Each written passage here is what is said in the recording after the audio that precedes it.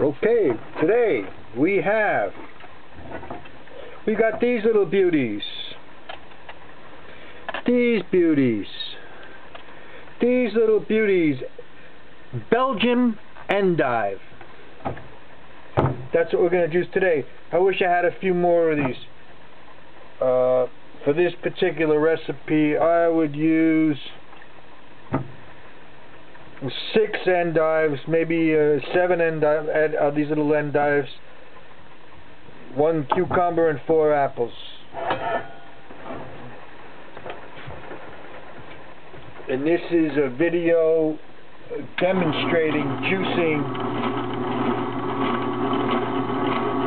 leafy vegetables. This is for beginners. This is uh, beginner's video, beginner juicer.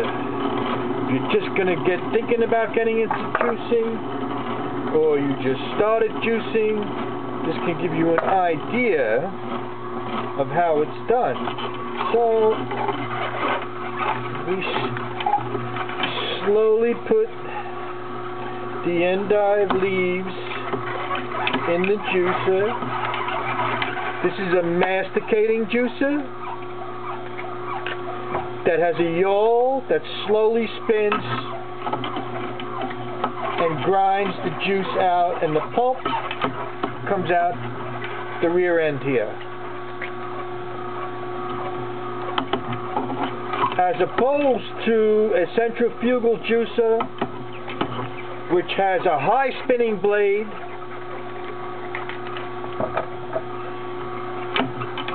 and gets the job done a lot faster. Although, it is believed by many that the high spinning blade destroys enzymes at the point where the blade meets the fruit or vegetable on account of the heat that builds up at that particular point. So in this slow yaw, turning yaw here, there is not heat built heat is not built up. So you wind up with more enzymes.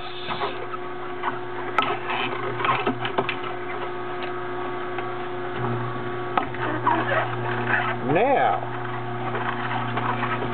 it's funny how the Belgian endive comes out like a a pinkish color, even though the vegetable is green. Endive, I feel, is a very, very highly nutritious vegetable. And uh, specifically, highly strong, uh, it's a very strong anti-inflammatory vegetable with a uh, wide varieties of vitamins and minerals, uh, amino acids, uh, omega 3s and 6s. In the endive is in the chicory family. And chicory is an excellent Anything in the chicory family is excellent to, uh, like escarole, an excellent juicing uh, vegetable for their nutrition. So, there's a lot of water in here too, because actually, those four are enough, because I'm getting myself six ounces or so. Six ounces here of juice. Of endive juice. I'm going to try something. I'm going to put this endive juice through. To, try to get it through one more time to see if I get any more uh, juice out of her.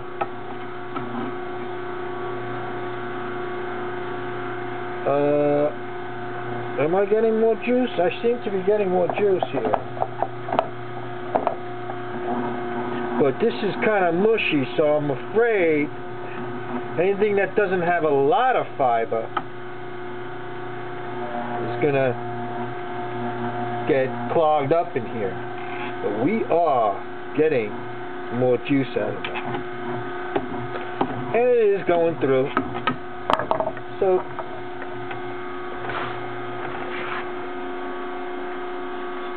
you're to peel off the poison here. Of Because that's a conventional cucumber. It's got pesticides, herbicides, and other matter embedded in the skin.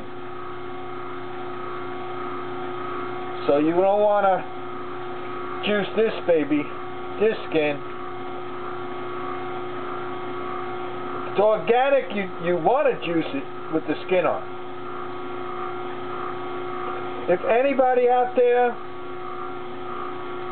that happens to be watching this video knows how much organic cucumbers are in their area going for, please post underneath the video because I'm interested to know, know the organic prices for cucumbers throughout the world.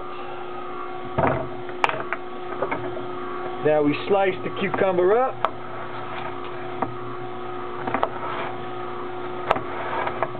And swoosh her on through. It on through, baby. A lot of water in cucumbers. You see, it's another thing to think about also. Our sources of water in the world are compromised. They're compromised with chemicals and all kinds of garbage. Oh, but uh, I'm sure they're throwing enough chlorine and fluorine in the water to kill any bacteria. See, now you don't want to ingest anything that's in municipal waters. I'd be buying myself those bottles of spring water if I were you. And but see now this here, you're getting pure. This is the filter. The vegetable is the filter. You're getting pure pure water out here, and it's an alkalized water, and it's also structured. So, in that respect alone, juicing is highly uh, juicing is excellent for your health because of the water content and the kind of water content that's in there. The quality of it is, I don't know, as far as I'm concerned, it's unmatchable. It, you can't match it. I mean, unless you know where there's a spring.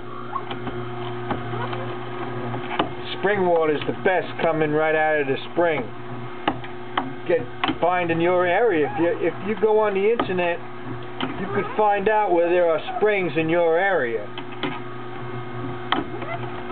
And see, by by me, I live way out on Long Island. They closed the good one they had, Cold Spring Harbors out on Long Island. They closed the spring.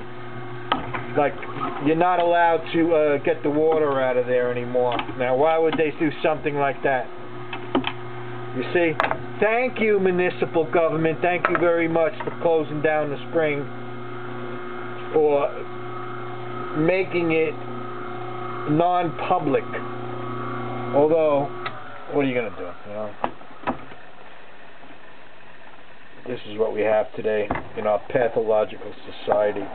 They're going to shut down springs. They're going to stop people from getting waters from fresh springs. Uh, you know, it was probably in the area where people were complaining. There were people, people coming up all the time with bombs, getting water right there, you know. And so the complainers got their way.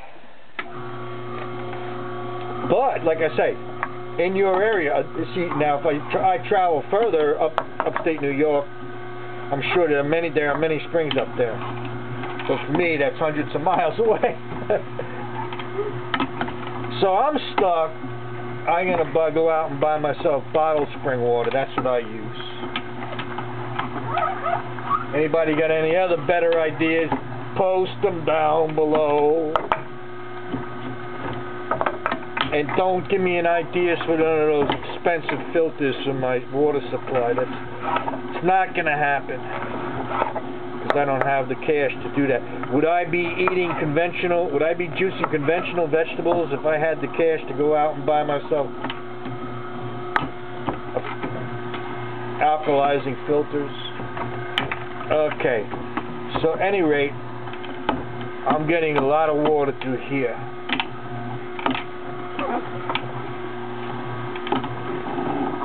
Nutrition. See, now these are conventional apples. But in apples, I leave the skin on. I wash them real good with soap and water. Dishwashing soap and water and rinse them real good. And now they're squeaky. Squeaky clean. Whereas before, if I did that, my hands would have a, a, a sheen of grease on it, some kind of a waxy grease. You don't want to be eating that. You don't want to be juicing that. So, I would have to say an unwashed apple is one of the most dangerous, uh, unwashed conventional apple is the most, one of the most dangerous things you can eat if you don't wash it. Because, uh, you're getting a heavy dose of pesticides and herbicides and all kinds of other nonsense, waxes and oils, and everything else that happens to get caught up in the wax and the oil. Cucumbers too. Cucumbers, they, they do the same kind of thing with cucumbers. Okay. Now, let's we're gonna see what this baby tastes like going to have about a quart and a quarter to a quart, quart and a third, quart and a quarter of juice here of Belgium endive juice. Belgium endive. They're beautiful little things, those little Belgium endives. You gotta love them. You gotta love them. So when we come out is some kind of a light brown drink. Interesting. And here we're gonna go. I'm gonna give this baby a taste test.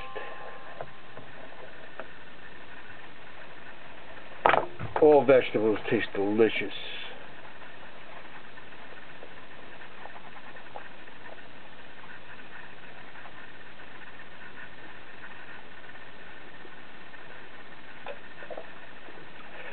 Yeah! Wonderful!